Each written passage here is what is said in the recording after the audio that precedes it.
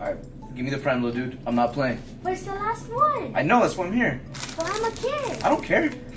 Really, dude? You're a grown man. I'm gonna tell my dad. I know your dad. You don't want you drinking this. I'm gonna tell my mom then.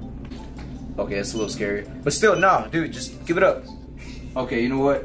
I think the most fair thing we could do is go ask that guy for a cup and we'll split it. Okay. Yeah? Cool.